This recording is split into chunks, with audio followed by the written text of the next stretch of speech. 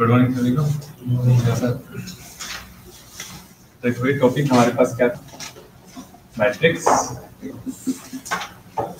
इसमें हमने दो चीज़ें पढ़ी थी, एक तो पढ़ा था रो और दूसरा पढ़ा था कॉलम रो कौन सी होती है जो इस डायरेक्शन में जाती है? कॉलम कौन सी होती है जो इस डायरेक्शन में जाती है? किसी भी मैट्रिक्स का ऑर्डर क्या होता है? ऑर्डर बराबर होता है m इंटू एम मतलब रो और सी मतलब कॉलम n मतलब ठीक है कभी भी किसी भी मैट्रिक्स को हम लिखते हैं तो m इंटू n की फॉर्म में लिखते हैं। M मतलब क्या होता है? रो और n क्या होता है? आप m और n को भूल भी जाओ तब भी कोई फ़र्क नहीं पड़ता। आपको ये रखना है ऑर्डर का मतलब होता क्या है? ऑर्डर जैसे हमने लिखा बच्चों three into three three into three का मतलब है ये इस बॉक्स होता है मैट्रिक्स का ठीक है? और थ्री इंटू थ्री का मतलब क्या है कि उसके अंदर आपके पास तीन ही रो होंगी। कितनी रो होंगी? तीन। और तीन ही क्या होंगे? कॉलम ऐसे कॉलम वन कॉलम टू और कॉलम थ्री ये पढ़ा था हमने। जैसे यहाँ पे कोई भी एलिमेंट हटा सकते हैं। One two three four five four six nine seven eight कुछ भी कुछ भी प्लस में माइनस में। कहीं पर कुछ भी आ सकता है। ठीक है? तो ये जो लाइन ऐसे जा रही है, इसको हम बोलेंगे रो और जो ऐसे जा रही थी इसको क्या बोल रहे हैं? इनके लिए जो कल अपसेंट थे। पाँच मिनट की बात है। ठीक है? नीरज पढ़ा कल पढ़ा था कल चलो शुक्र है। हाँ तो वेरी गुड तो पढ़ता नहीं नहीं नहीं पढ़ता है। You are super intelligent boy ज़्यादा ना चढ़ जाइयो इंटेलिजेंस। चलो अब इसके अंदर हमने एक चीज़ और पूछी पूछी थी आपसे कि आपके पास ये जो मैट्रिक्स होती है इसमें एलिमेंट्स होते हैं उसको करते हैं? A one one a one two a three इसका मतलब पहले वाला तो क्या होता है बच्चों रो होता है दूसरे वाला? पहले वाला रो दूसरे वाला? पहले वाला रो दूसरे वाला? अगर इस लाइन में एलिमेंट लिखे हुए हैं जो हमने यहाँ पे लिखी इसका मतलब क्या है? ये आपके आर वन है और ये आपके पास सी वन मतलब पहली रो और पहला कॉलम एलिमेंट कौन सा आएगा? ये वाला। मैं आपसे पूछूँ पहली रो तीसरा कॉलम पहली रो जा रही है कॉलम कौन सा? तीसरा। एलिमेंट कौन सा आएगा? समझ गए? तो ये कॉलम थ्री का एलिमेंट है। मैंने आपसे पूछा इसके अंदर कि माइनस फोर की जो प्रेजेंटेशन होगी वो क्या होगी? माइनस फोर होगी उसको हम कौन सा एलिमेंट लिखेंगे? ए के आस पास क्या लगाएँगे यहाँ पे? दूसरी रो दूसरा समझ रहा माइनस फोर किसका बराबर होगा? दूसरी रो है और दूसरा ही कॉलम ए टू टू की वैल्यू आएगी माइनस फोर मैं आपसे पूछू ए थ्री टू तो ए थ्री टू तीसरी रो पहले रो फिर तीसरी रो दूसरा कॉलम तीसरी रो दूसरा कॉलम वैल्यू सेवन समझ में आए आपके साथ है ए टू थ्री अब बताइए। दूसरी रो तीसरा हाँ दूसरी रो तीसरा कॉलम वैल्यू बताओ दूसरी रो तीसरा कॉलम छह आएगा ना? क्लियर हो पॉइंट अगर आपसे पूछे ए थ्री थ्री तीसरी रो तीसरा कॉलम तीसरी रो तीसरा कॉलम मतलब आखिर का माइनस क्लियर है पॉइंट हो गया रिवाइज चलो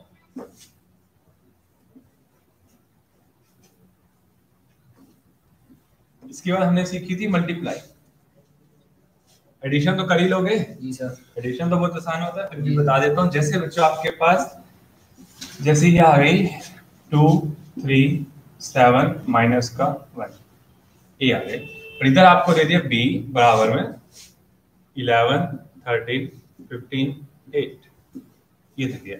आपको बोला ए प्लस बी करना है। ए प्लस बी सबसे पहले देखो बराबर है एलिमेंट्स तो ये वाली वैल्यू सीधा इसके ऊपर अगर हम रख दें जोड़ते टाइम तो दो किसमें जुड़ेगा? ग्यारह। दो और ग्यारह में जुड़ेगा तो यहाँ पे वैल्यू आएगी थर्टी तीन और तेरह जुड़ेगा तो सोलह। सात और पंद्रह जुड़ेगा तो बाईस। और माइनस एक और आठ जुड़ेगा तो ऐसे आप एडिशन कर सकते हैं। मल्टीप्लाई कर सकते हैं ऐसे ही आप सब्सट्रैक्शन भी कर सकते हैं। ए माइनस बी पूछेगा तो आप क्या करेंगे बच्चों? A minus b a minus b दो में से ग्यारह गया तीन में से तेरह गया, सात में से पंद्रह गया, माइनस एक में से माइनस आठ गया। पॉइंट अब इसके बाद हमने एक चीज़ सीखी थी मल्टीप्लाई मिटा दिए इसे। इसे नोट तो नहीं करना। कर लो कि प्लस वाला तो बहुत इजी होता है। अब आती है बात बच्चों मल्टीप्लाई की। देखो, ये जो चैप्टर्स हैं, यही आपके पास आने के सबसे ज़्यादा चांसेस हैं। इन्हीं पे आपको बहुत ज़्यादा ध्यान देना। जो आपके बच्चे ना, ये आसान आसान से परसेंटेज प्रॉफिट हो साधारण हो सकता है किसी के लिए आसान हो, किसी के लिए मुश्किल भी हो। ऐसा नहीं है कि सबके लिए सब कुछ आसान होता है, मुश्किल होता है। वो चैप्टर्स हम बाद में करेंगे। सबसे पहले जो एचएसएस सिस्टम पूछती है फोकस इस पे है। पहले वही चैप्टर सारे कवर करें, ठीक है? इसका एपीजीपी हो गया सेट सबसेट हो गया कॉम्प्लेक्स नंबर हो गया, ठीक है? इस तरीके के चैप्टर जल्दी जल्दी निपटाने हमें। अब देखो, अगर हम बात करें ए इंटू बी डॉट लगाओ या ऐसे मल्टीप्लाई का साइन लगाओ, बात एक ही है। ऐसे भी दे सकता है, ऐसे भी दे सकता है और ए बी ऐसे लिखा हुआ भी दे सकता है, बात एक है। तो आपको मल्टीप्लाई करनी है। मल्टीप्लाई में आपको एक चीज़ बताई थी, आपको करना क्या है? आपको सबसे पहले हम इस लाइन की गुना करेंगे, इस लाइन के साथ। हमें ये एलिमेंट चाहिए। हमने आपको बताया भी था कि ए बी इसकी वैल्यू होती क्या है? इसका a one one a one two a two one a ये होते हैं एलिमेंट हमारे पास दो की मैट्रिक्स हमारे पास दो ही आंसर आएँगे, ऐसे चार ही आएँगे। तो हमने देखो, सबसे पहले आपको ये वैल्यू चाहिए। A one one a one one का मतलब पहली रो की गुणा किससे करोगे? पहले पूरे से। फिर पहली रो की किससे? दूसरे कॉलम से। क्योंकि यहाँ पे दूसरा है तो कॉलम भी कौन सा लेना पड़ेगा? दूसरा। तो अगर मैं यहाँ पहली रो की पहले से गुणा कर रहा हूँ तो देखो, पहले लिखेंगे दो गुणा में ग्यारह। प्लस फिर तीन की तीन गुणा में पंद्रह। ठीक है? और इसके बाद अगर हम बात करें यहाँ वाली वैल्यू की तो यहाँ पे अब देखो, पहली तो लेंगे, देखो, यहाँ पे हमने क्या लिखा? पहली रो लेंगे और दूसरा कॉलम पहली रो और कॉलम इस पर कौन सा ले लेंगे? दूसरा. समझ में आया? अगर मुझे ये एलिमेंट चाहिए तो इसकी वैल्यू मुझे पता है क्या होता है? ए वन टू मतलब पहली रे और दूसरा कॉलम पहली रो में कौन है? दो. और कॉलम में? दूसरे में कौन है? तेरह. तो दो और तेरह की क्या कर देंगे? गुणा. मल्टीप्लाई थोड़ा सा टेढ़ा है. हर बच्चे को आराम से सुनना फिर तीन की गुणा. नीरज क्लियर हुआ पॉइंट चलो बच्चे आप बताओगे यहाँ पे क्या लिखेंगे? हाँ दूसरी रो पहला कलम। तो बताओ दूसरी रो में पहला ये है सात सात की गुणा किससे करूँगा? ग्यारह से। करेंगे ना? फिर उसके बाद? प्लस किसकी गुणा किससे? माइनस एक की माइनस एक की पंद्रह से। कर दोगे? उसके बाद यहाँ पर अगर हम बात करें हाँ वैल्यू बता क्या लिखो यहाँ पे? सात गुणा में तेरह आ जाएगा, इक्यानवे प्लस में माइनस एक गुणा में आठ। एक मैं लिख रहा हूँ ताकि सारे बच्चे आसानी से नोट कर सकें, क्योंकि कलम ने मल्टीप्लाई जल्दी जल्दी में एक ही क्वेश्चन इसलिए दोबारा ठीक है? अब अगर हम इनको सबको सॉर्ट आउट करें तो आपके सामने वैल्यू आराम से निकाल सकते हो आप लोग। ग्यारह दुना बाईस, पंद्रह पैंतालीस। पैंतालीस और बाईस कितना होता है? सतासठ या सड़सठ, जो आपका दिल करे बोलो। तेरह दुना छब्बीस तीन अठे चौबीस। चौबीस और छब्बीस पूरा पचास होता है। फिर ग्यारह सत्य सत्तर होता है। सत्तर में से आपको पंद्रह घटाना है। कितना आंसर आएगा? बासठ। यही आएगा? मेरे को नहीं आती। जमा घटा गुणा देख लेना। बता दियो गलती ना करा दियो। तेरह सत्ते इक्यानवे। इक्यानवे में से आठ गए। इक्यानवे से आठ गए। सही है? प्लस का आएगा? क्यों नीरज? इसको सोल्व करेगा तेरह सत्ते इक्यानवे। माइनस एक की आठ करेगा माइनस आठ। इक्यानवे में से आठ गए तिरासी प्लस का आएगा माइनस का? माइनस।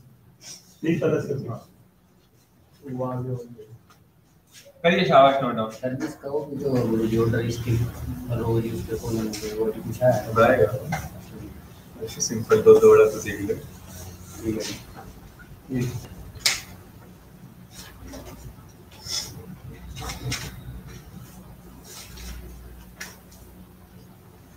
पहले के रो दूसरे के कॉलम बराबर होने चाहिए तब मल्टीप्लाई होती है ऐसा होता है। तो फिर एक पहली रैली में दो बंदे हैं। अगर यहाँ इसकी गुणा दूसरे से करेंगे तभी पॉसिबल होगा दूसरा बंदा ही नहीं होगा कैसे गुणा? आप दी अच्छा था क्या पहले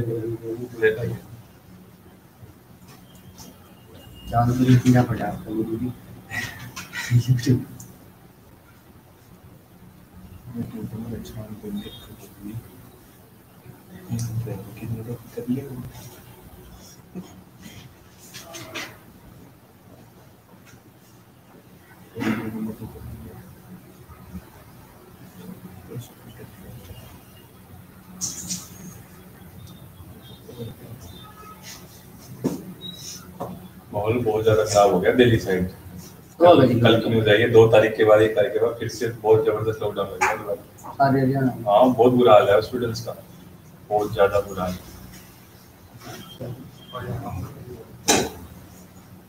क्योंकि जैसे जैसे सर्दी आएगी उसके कोरोना के बहुत ज़्यादा बढ़ जाएगा। हाँ जी।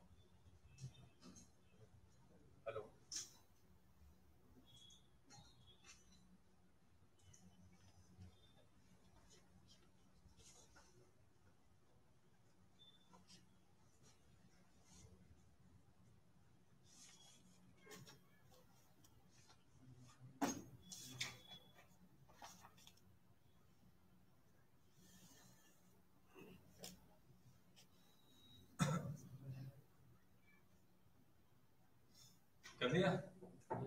नेक्स्ट पे चले?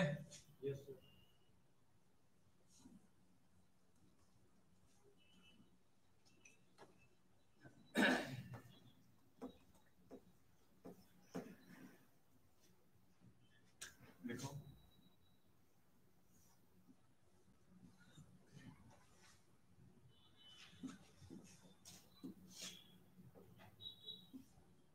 ये ये दिया है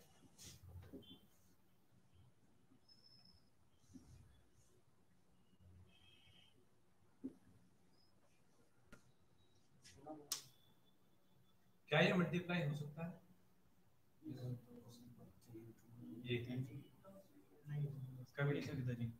रूल कहता है, पहली के रो, दूसरी के कॉलम पहली के रो, दूसरी के कॉलम अब जब तक यहाँ पर हम ये नहीं लिखेंगे ना एक और वैल्यू तब तक ये मल्टीप्लाई नहीं हो अब हुआ है ना। मैंने क्या बोला? पहली के रो, बोलो। अब पहली के जो दो रो हैं, जैसे मान लीजिए ये जैसे ये आपका ये सॉरी पहली का जैसे आपके पास जैसे रो के एलिमेंट तीन है, पहली रो के एलिमेंट कितने हैं? तीन। तो जब हम इसकी मल्टीप्लाई करेंगे, पहले इसके साथ होने चाहिए। फिर फिर इसकी होगी ना multiply। अगर यहाँ पे आपके पास एलिमेंट नहीं होगा, कि पहली रो के एलिमेंट दूसरी के कॉलम के बराबर, ये बोलो पहली के रो के एलिमेंट, दूसरी के कॉलम के एलिमेंट्स के बराबर होना चाहिए। अगर मान लो ये एलिमेंट नहीं होगा तो ये इसके साथ मल्टीप्लाई कैसे होगा? ये कह रहा हूँ।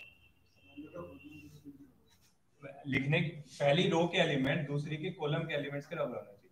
या फिर आप ये बोल दो, रो बराबर में कॉलम में अगर हम बात करें, पहली मैट्रिक्स के रो, पहली मैट्रिक्स की रो, दूसरी मैट्रिक्स की कॉलम के बराबर होनी चाहिए ऐसे कह सकते हैं। कि कॉलम। या फिर ऐसे कह सकते हैं, पहली रो के एलिमेंट्स मतलब पहली वाली मैट्रिक्स की रो के एलिमेंट्स, दूसरी वाली कॉलम के एलिमेंट्स के बराबर होने चाहिए क्योंकि अगर हम इसकी मल्टीप्लाई करेंगे फाइव थ्री टू की तो इसके साथ ही मल्टीप्लाई होना ज़रूरी है। अगर ये इसके साथ यहाँ पे एलिमेंट नहीं होगा तो मल्टीप्लाई किसके साथ होगा? ठीक है तो अगर हम इसकी मल्टीप्लाई करेंगे तो करिए, बताइए आंसर क्या आएगा हॉरिजॉन्टल वर्टिकल से कोई मतलब नहीं है बराबर होना चाहिए। हाँ बता दो करिए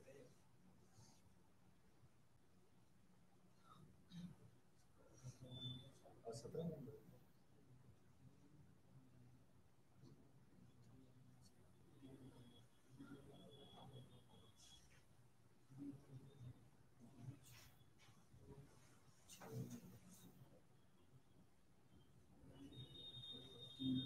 छोटू जल्दी आएगा भाई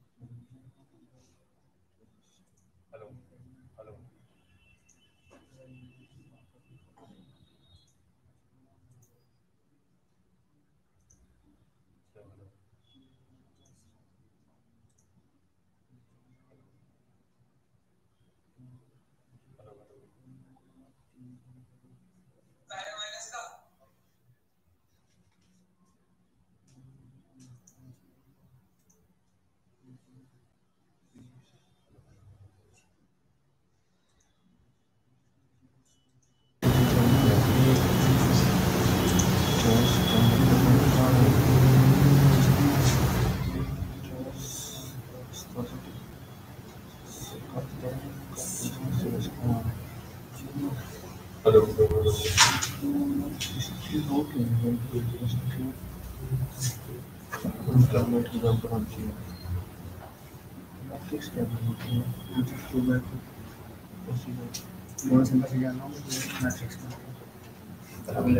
पिछले बार में बराबर होने चाहिए इसके कॉलम इसकी रो बराबर होनी चाहिए तो रो पहली के रो हम इस्तेमाल कॉलम बराबर होनी चाहिए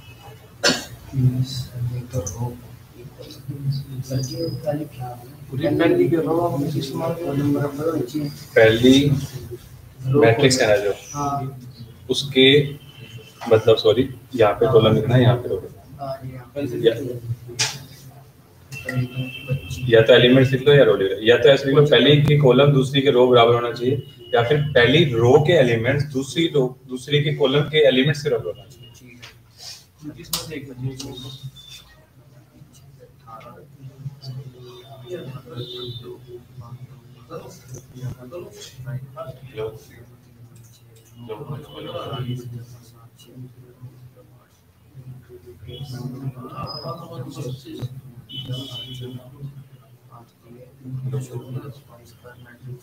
लो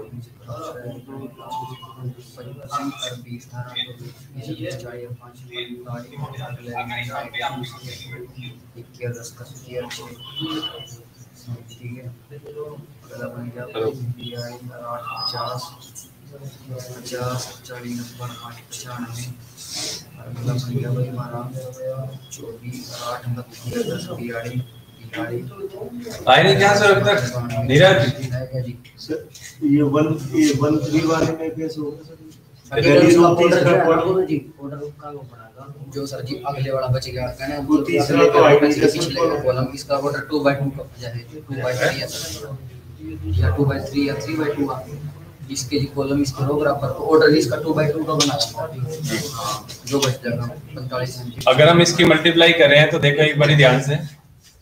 पहले तो इसका ऑर्डर बताओ इसका ऑर्डर कौन सा कितनी रो है इसके अंदर दो दो रो दो रो और कॉलम कितने तीन पहली का ऑर्डर क्या है टू इंटू थ्री और इसका ऑर्डर अगर हम बात करें बी का तो इसका ऑर्डर क्या है दो तीन पहली के रो और कॉलम कितने दो थ्री बाय 2 ये था जी सर अब अगर हम इसकी वैल्यू की मल्टीप्लाई करते देखो पहले पाँच गुना किसी होगी? पाँच। पाँच। क्या? सीधा कर दो पच्चीस। कर दो ना पच्चीस? प्लस में। तीन की गुना छह से। तीन चेक फिर दो एक कम। दो। अठारह दो। ये आ जाएगा वैल्यू उसके बाद हम बात करें इसकी गुणा पूरी की इसके साथ करेंगे? है ना? पाँच दो नहीं दस। तीन सत्ते दो दिए हो जाएगा? फिर नौ।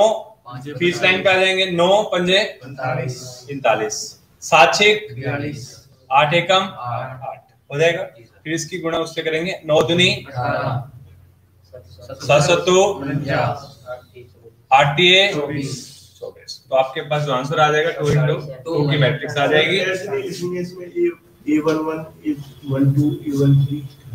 एलिमेंट ही नहीं बचते ना कि अगर यहाँ पे अपने पास देखो ये जो वैल्यू है ये दो और यहाँ पर भी कितने हैं? तो लास्ट में जो छोटे वाला ये बच जाएगा। तीसरे कौन से लाएगा? है ही नहीं? ये ही नहीं। अब आ गया ये? इतना ही आएगा ये। और कुछ बचा नहीं ना बच्चे? अगर ये अगर हम पहले इसकी गुणा करते हैं इसके साथ। फिर इसकी गुणा करते हैं उसके साथ करते हैं। फिर यहाँ पे जब तीसरा होगा तो ही आएगा ना? तो यहाँ पे अगर आपके पास रो ही दो है तो आंसर भी कितने आएँगे? यहाँ पे भी दो ही बनेंगे ना?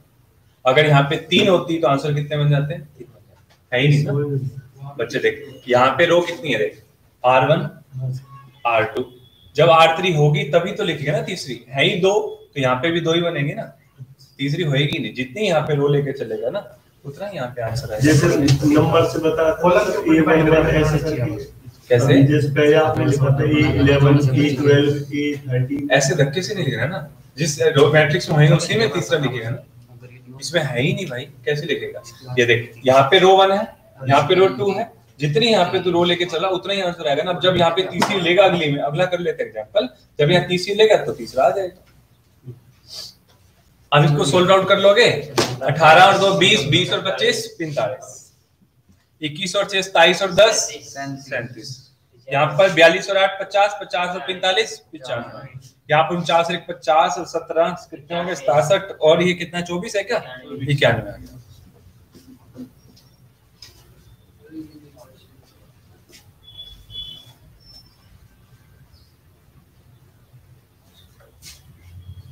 हाँ, गड़बड़ गई मैंने। हाँ? क्या लिख दिया था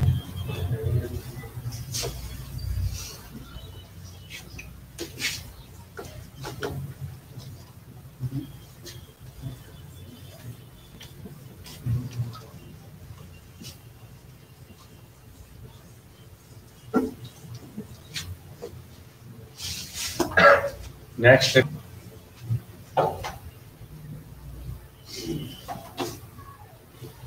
आपका सी है।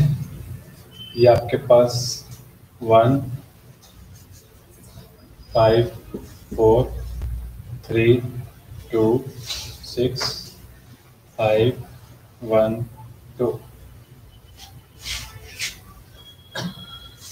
ये इस बार इसको ये ले लेते हैं कम ले लेते हैं। नीरज इसका ऑर्डर कितना है? इसका सर मतलब तीन रो और दो कॉलम तीन रो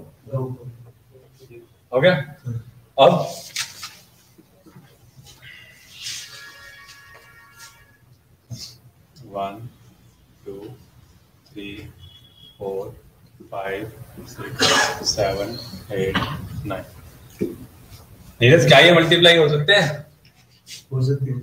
हाँ? हो सकते हैं। हो सकते हैं? कैसे हो सकते हैं बता? रो और कॉलम बराबर कहाँ है बराबर? हाँ। बेटे देख। एक इसकी गुणा इसका करेगा। इसकी गुणा इसका करेगा। अब तीसरा बंदा ही नहीं है इसकी गुणा किसका करेगा? ये बताना जी। तो सर पहले वाला भी तो ऐसे ही था सर नहीं था। यार यहाँ के मैंने तभी तुम्हें वो वाली लाइन लिखा और किसने मैंने लिखवाया था पहली रो के एलिमेंट्स दूसरे के कॉलम के बराबर होने चाहिए। ये लिखवाया था। तुम कॉलम और रो के चक्कर में पड़ रहे हो। अगर मैं इसके कॉलम की बात करूँ और उसकी रो की बात करूँ तो यहाँ पे देखो बराबर नहीं। रो के हिसाब से देखना होता है सर पहले रो देखेगा रो के अंदर अगर तीन एलिमेंट्स है यहाँ पे तो यहाँ पे कॉलम में तीन एलिमेंट पूरे होंगे तो ही यहाँ पे तीसरा एलिमेंट नहीं है इसकी गुणा किसके साथ करेगा? अगर मैं इसको ऐसे ही कर दू ना देख अब। अब देख इसको। इसके अंदर और इसके अंदर समझ रहा अब देख इसकी गुणा तो इसके साथ कर लेगा। हाँ इसकी गुणा इसके साथ कर लेगा। कर लेगा। फिर अगली बार जाएगा। ये लाइन को पकड़ेगा। इसकी गुणा इसके साथ इसकी गुणा इसके साथ। समझ में आया फिर उसके बाद आएगा ये वाली किसके साथ करेगा सेवन के साथ और इसकी। एट के साथ। समझ में आया अब देख इसकी गुणा करो भाई आंसर कितना आएगा सीडी की वैल्यू निकालो। मतलब। के हिसाब से देखना हाँ, पहली वाली रो के दूसरे के कॉलम के बराबर होने चाहिए। नहीं होगा तो तीसरी वैल्यू भी तीसरी से गुणा होगी ना तीसरी कॉलम और रो अगर कॉलम ज़्यादा है और रो कम है तो नहीं होगा। रट्टा मारता है।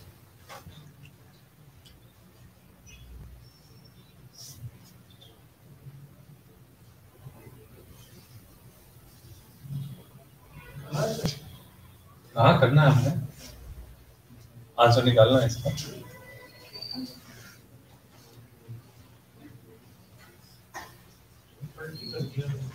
हाँ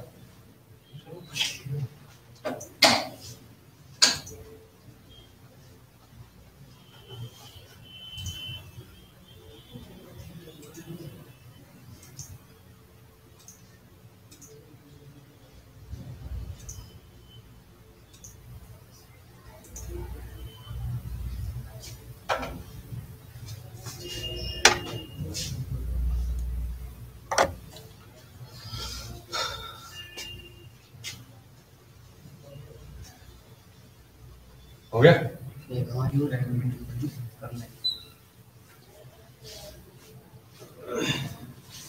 छोटू निकला आंसर फिर। आ गया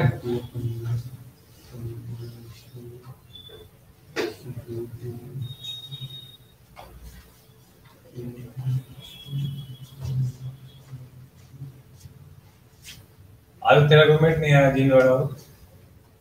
कहाँ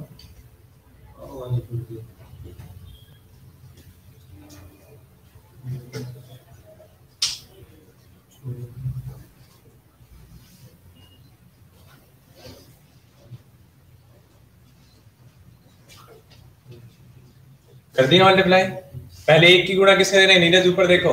एक की गुणा एक से। लिख के दिखाऊँगा सीधा लिख दो? एक। फिर पाँच की गुणा पाँच थी एक। पंद्रह। कर लेगा? फिर ये वाली आ गई तीन की गुणा। तीन दो नहीं छह। एक की गुणा एक से थी प्लस में पाँच थी एक। गुणा एक और फिर पाँच थी आ गया यहाँ पे? फिर उसके बाद अगला स्टेप क्या लिखेंगे? नीरज किसकी गुणा किससे करेंगे? हाँ? पिछाड़ मार छलांग मारेगा तो। अभी तो ये वाला एलिमेंट प्रो है बेचारे रह गए यार। इसकी गुणा पहले इसके साथ करी फिर इसकी गुणा इसके साथ फिर इसकी गुणा इसके साथ। भूल गया? नहीं आ सकता देख पहले ये वाली लाइन को निपटाना है। मतलब ये वाली लाइन के एलिमेंट पूरे करने हैं। एक यहाँ तो होता है एक यहाँ आएगा एक यहाँ आएगा। ठीक है? अब पहले इसकी गुणा इसके साथ करते हैं फिर इसके साथ करते हैं यहाँ वैल्यू लिख दी। फिर अब इस एक की गुणा किससे करेगा? दो से। एक गुणा में दो दो प्लस में पाँच चौक आया? अब इस वाली लाइन की गुणा किससे करेगा? एक की सात सात से शाबाश पाँच अट्ठे चालीस। अब ये पहली रो कंप्लीट हो गई। अब दूसरी रो को पकड़ेगा?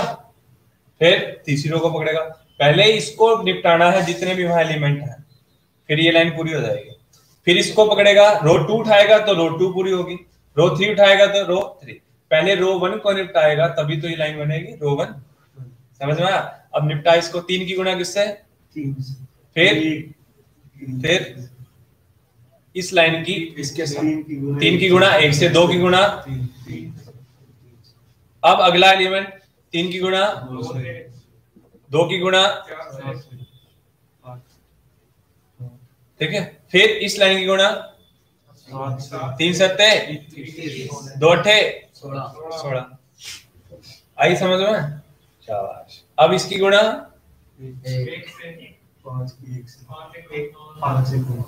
प्लस एक दिया तीन एक एक कीजिए अब बता आगे, पाँच की गुणा, एक की गुणा, फिर पाँच की गुणा, फिर एक की गुणा। हो जाएगा नीरज? पक्की बात है? और नीरज? हो जाएगा क्या? ये पूरा आज शाम को फिर दोबारा रिवाइज करा देंगे। कोई दिक्कत नहीं है। प्रोग्रेसिव शुरू करना है दोबारा। ले रहे हैं। ना हो। गया शुरू क्या हाँ जी साइंस की कर रहे हैं। मैथ चला रहे हैं। दोनों साइड बाय साइड करते रहो सारा सिलेबस जल्दी जल्दी बता दो पच्चीस का हो। जाना हैं। स्टाफ नर्स का तो कोई नहीं दे रहा उस भाई का तुमसे भी पहले है पेपर देख के पता चल रहा है इस बार एसएससी किस मूड में? है। जी भी जब मैं देखता हूँ जी शुरू हो जाएँगे। ऑफलाइन ही होंगे सर अब आगे तो कर ही लोगे? स्टाफ नर्स का लड़के जैसे। हो कंप्यूटर बोल लो। कंपाउंडर हाँ कंपाउंडर नहीं कंप्यूटर होता छोटा डॉक्टर होता है। छोटा डॉक्टर मिट कर लोगे तो? बिट्टू आज जोश में नहीं है में था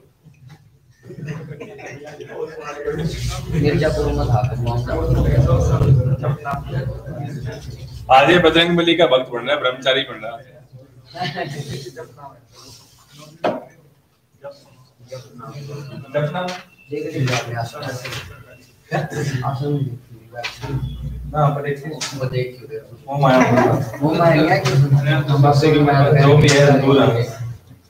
एक आज का एक टॉपिक अभी कर लेते हैं, जल्दी जल्दी ट्रांसपोज वरना तो कल वाले भी रह जाएँगे। Transpose of matrix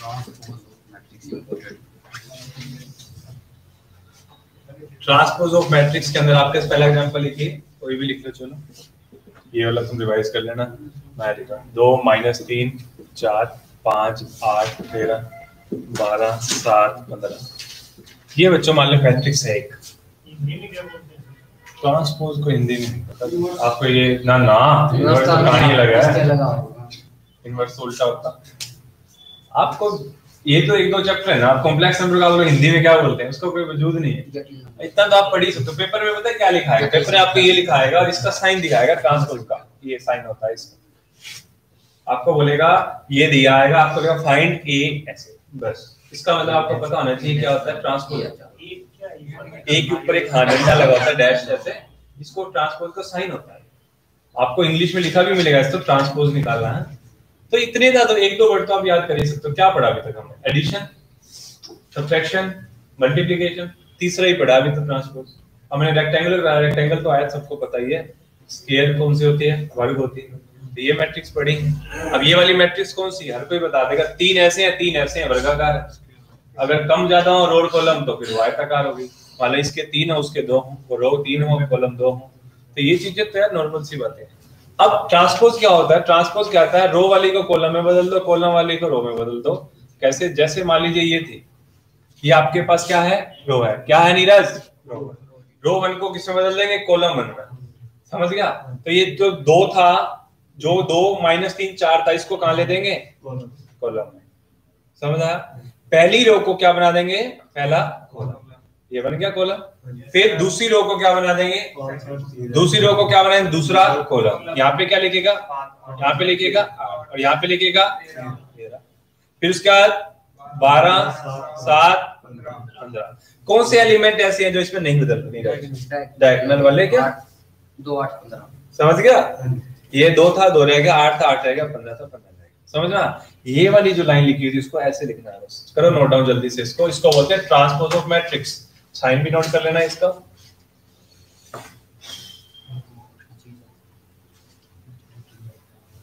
और एक ही मैट्रिक्स का दो बार ट्रांसपोज करोगे वापस वही मैट्रिक्स आ जाएगा। अगर मैं इसका दोबारा ट्रांसपोज करूँगा तो मेरे पास वही मैट्रिक्स दोबारा आ जाएगी। तो आपके पास रूल कहता है पहला कि अगर हम किसी मैट्रिक्स का ऐसे ट्रांसपोज करते हैं दोबारा से तो आपके पास वापस मैट्रिक्स वो आ जाता है।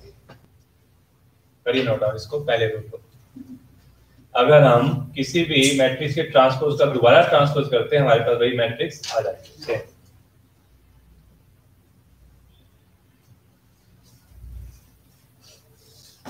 दूसरा रूल देखिए क्या है। अगर आपके कोई भी एक कांस्टेंट है के ले लिया, मान लो ए और मैं इस पूरे का ट्रांसपोज करता हूँ तो मेरे पास जो आंसर में आएगा के तो रहेगा ही रहेगा, और ए का अकेले का क्या हो जाएगा? ट्रांसपोज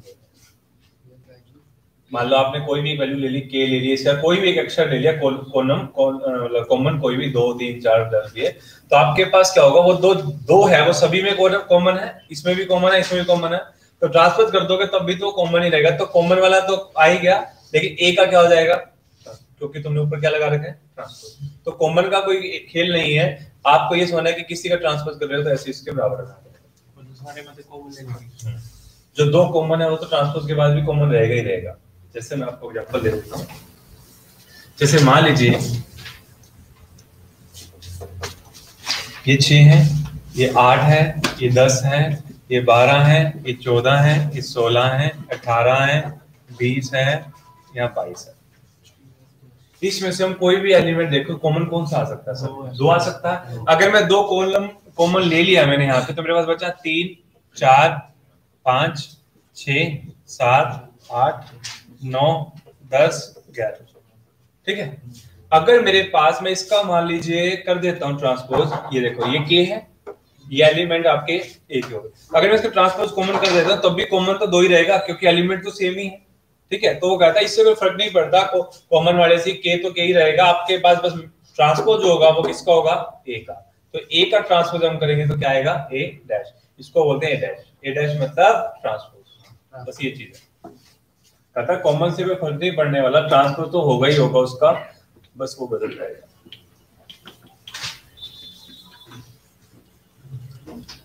तीसरा रूल देखिए आपके पास आता है। तीसरा रूल कहता है, अगर कोई भी दो मैट्रिक्स हैं, आपने उसके प्लस कर दिया और इसका ट्रांसपोज कर दिया तो आपके पास ए ट्रांसपोज प्लस में क्या आ जाएगा? बी ट्रांसपोज और अगर इसी तरीके से आपने माइनस ले लिया, तब भी एक ही बात है a transpose minus b transpose करिए बच्चा, बस। तीसरा, चौथा रूल या आपके पेपर में आ भी सकता ऑप्शन दे देगा, आपको ए बी सी डी इनमें से कुछ पूछ देगा। पहला है एडिशन का, दूसरा आपके पास सब्ट्रैक्शन का, और तीसरा आपके पास है मल्टीप्लिकेशन का। मल्टीप्लिकेशन में आपको ध्यान देना है बी ट्रांसपोज ए ट्रांसपोज अगर हम किन्हीं भी दो मैट्रिक्स की मल्टीप्लाई करके उनका ट्रांसपोज करते हैं तो हमारे पास जो आंसर आएगा, वो क्या आएगा? उल्टा। B transpose dot a transpose dot का मतलब यहाँ पे क्या होता है? मल्टीप्लाई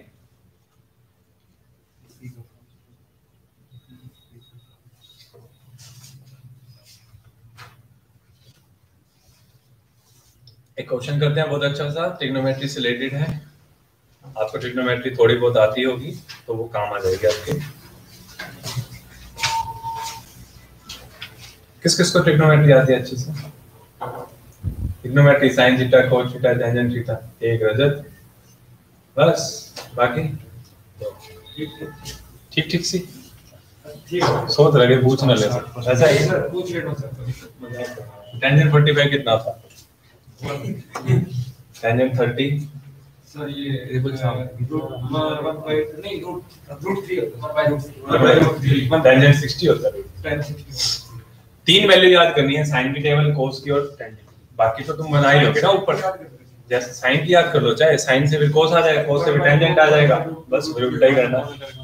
चलो करा देंगे. आपको एक प्रोबेबिलिटी दिखा रहा हूँ वो याद रखना. Sine square theta plus cos square theta नहीं नहीं, खत्म का हो गया ये यूज़ होगा इसका trigonometry sine square theta plus cos square theta बराबर में 1 होता है, ये आपको आइडेंटिटी याद रखनी है, ठीक है? हाँ जी, नहीं नहीं, ये मैट्रिक्स में यूज़ होगा अभी।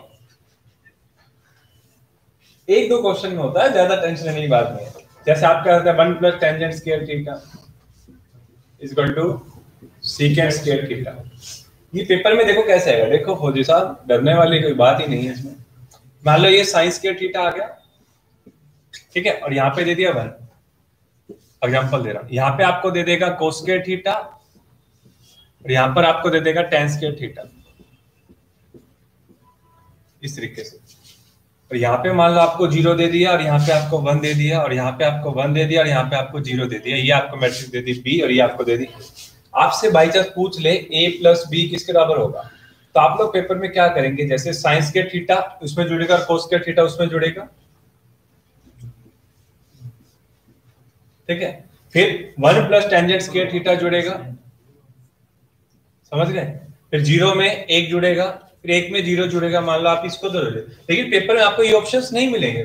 समझ रहे हो मेरा कहने का मतलब क्या?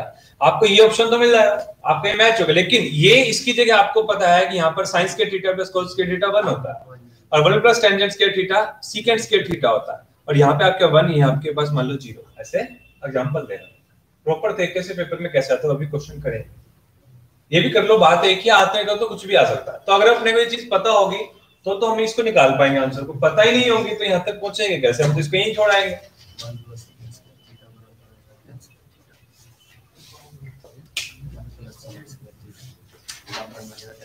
इसी तरीके से वन प्लस कोर्सकेट थीटा बराबर में? Cosecant square theta. ये तीन आपको प्रॉपर्टी याद रखनी है मैथ के अंदर हमेशा। ये तीन प्रॉपर्टी आपको हमेशा याद रखनी है। साइंस के theta plus cos theta one के बराबर होता है। वन में टेन जोड़ेंगे तो सीकेंट आएगा फोर जोड़ेंगे तो कोसिकेंट आएगा। इसका चाहे रट्टा मार लो चाहे इसको याद कर लो आपका दिल करे कैसे। ये आपको करना ही पड़ेगा।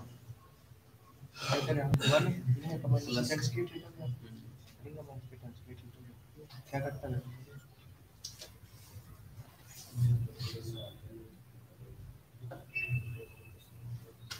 सर ज़ीरो इवन नंबर है नहीं? ज़ीरो? इवन है इवन है और दोनों इवन मान लेते हैं उसको इवन क्यों मान लेते हैं? क्योंकि जैसे मान ले दस लिखते हैं कोई भी हम सोचते हैं डिजिट वो तो दस बनता है डिजिट है। बनता है लेकिन लास्ट का डिजिट तो ज़ीरो ही है तो उसकी वजह से कोई इवन मान लेते हैं।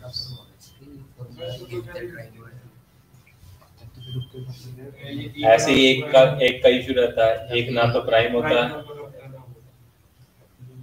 एक तो कोई समझ नहीं अंदर ही नोट ना प्राइम है ना कंपोजिट वही ऐसे वो बोल देते ना हैं। बचे ना है। में बहुत दो नंबर मिनिमम रिक्वायरमेंट होती है प्राइम दो? हाँ दो। दो से डिवाइड हो रहा मिनिमम रिक्वायरमेंट होती है। उसके जो फैक्टर्स हैं मतलब? जी से दो फैक्टर दो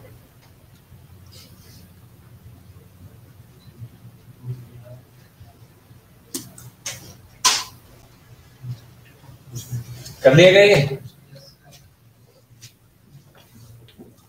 अब जो एनसीईआरटी में पेपर में क्वेश्चन आया है, वो देखो क्या है आता है। एक तुम्हारे को आइडेंटिटी मैट्रिक्स बताई थी? यूनिट मैट्रिक्स यूनिट मैट्रिक्स बताई थी क्या? कॉपी पलटो देखो क्या होती है unit matrix one zero zero one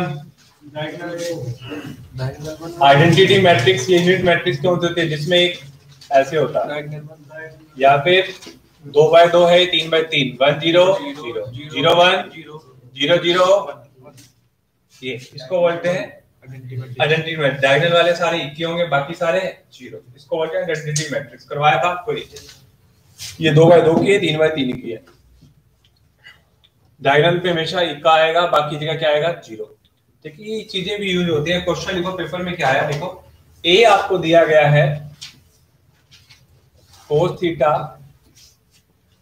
sine theta minus का साइन थीटा और प्लस का कोस थीटा यहाँ पर आपको ए की वैल्यू दी गई और आपसे पेपर में पूछा गया ए इंटू ए का ट्रांसपोज किसके बराबर होगा? ए इंटू ए का ट्रांसपोज किसके बराबर होगा?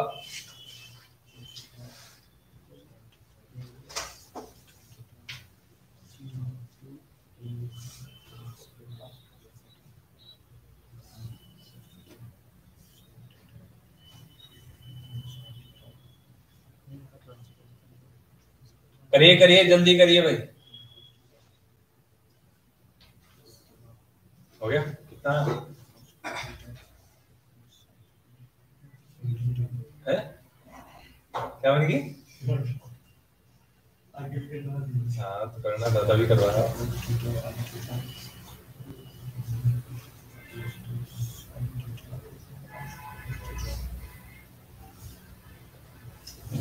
थीटा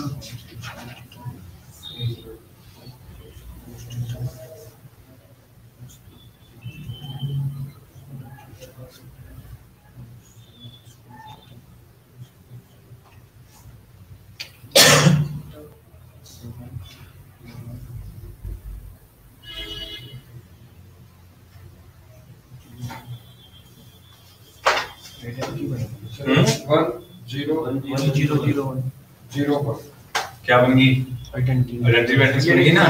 देखो ये ए था और मैं इसका ट्रांसपोज लिखता हूँ बच्चों तो मेरे पास ट्रांसपोज क्या आएगा? देखो ये वाली रो क्या बन जाएगी? बन जाएगी यहाँ पे कोस थीटा था ये तो सेम रहेगा। यहाँ पर कोस थीटा था वो क्या रहेगा? सेम होगा क्या? कोस थीटा साइन थीटा था तो यहाँ पे क्या आ जाएगा? साइन थीटा और ये वाली लाइन कहाँ चली जाएगी? तो माइनस साइन थीटा यहाँ आ जाएगा। नीरज याद आ रहा है कुछ? क्या याद आ रहा है? पहली वाली रो क्या बन जाएगी? पहले वाला कॉलम दूसरी वाली रो क्या बन जाएगा? दूसरे वाला कॉलम आ गया? ये ए है ये ए का ट्रांसपोज अगर हम इन दोनों की मल्टीप्लाई करेंगे तो आप देखिए वैल्यू क्या आएगी। तो मल्टीप्लाई कैसे करते हैं नीरज? इस लाइन की गुणा इसके साथ। तो पहले कोस की गुणा करेगा कोस से। तो यहाँ पे आएगा कोस स्क्वायर प्लस में। साइन थीटा की गुणा। आंसर क्या आएगा? साइन स्क्वायर थीटा कर देगा। उसके बाद क्या करेगा? यहाँ वाले एलिमेंट के लिए। इधर वाले की उधर वाले इधर वाले की? की, इधर वाले इससे कर दे अब इधर वाले की दोबारा? इससे करेंगे ना भाई। पहले पहली रो तो कंप्लीट कर ले फिर इस पे आइए। कोस थीटा की गुना इससे करेगा माइनस का कोस थीटा और साइन माइनस साइन थीटा की गुणा रहेगा कोस थीटा माइनस का साइन थीटा तो वैल्यू क्या आएगी? ये आएगी। फिर इसकी गुणा इससे करेगा तो क्या लिखेगा? Plus sine theta cos theta समझ में आई? अब पहली रो का काम तेरा कंप्लीट हो गया। दूसरी रो पे आएगा तो कौन सी रो पकड़ेगा यहाँ से? दूसरी।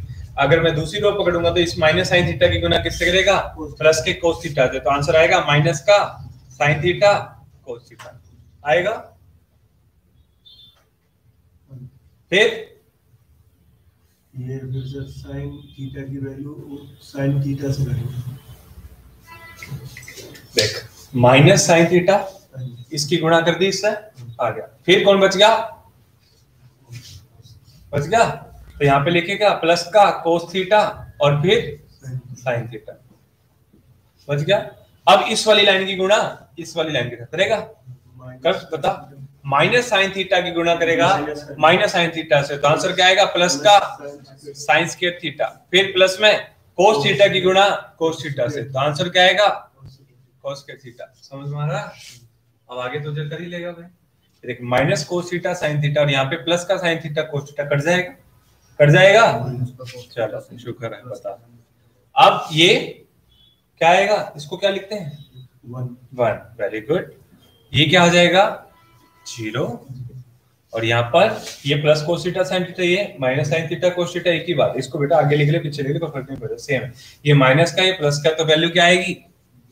और ये साइंस के थीटा प्लस कोस के थीटा कितना आएगा? वन। अगर वन ज़ीरो ज़ीरो वन आ जाए तो कौन सी मैट्रिक्स होती है? आइडेंटिटी मैट्रिक्स समझ में आया तो इस क्वेश्चन के अंदर आंसर आपका क्या आएगा? ए इंटू ए डैश आपका आंसर पेपर में क्या लिखा मिलेगा? इस क्वेश्चन के अंदर आपके पास आइडेंटिटी मैट्रिक्स का आ जाएगा। रट्टा नहीं मारना कि आइडेंटिटी मैट्रिक्स होता है ऐसा कुछ। इस क्वेश्चन में है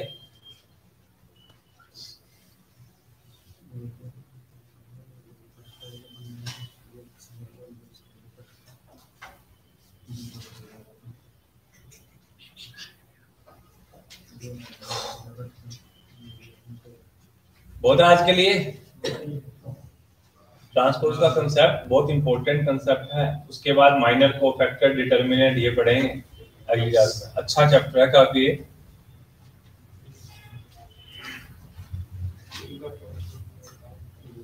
बाकी जो आपके प्रतिशत लाभ आने वाले में आपको वही क्वेश्चन रहे जो पेपर में आते हैं आपके। ठीक है? उसको जल्दी जल्दी आराम से कर लेंगे। इन चैप्टर्स पे टाइम लगा लो, जो पहली बार कर रहे हैं कुछ बच्चे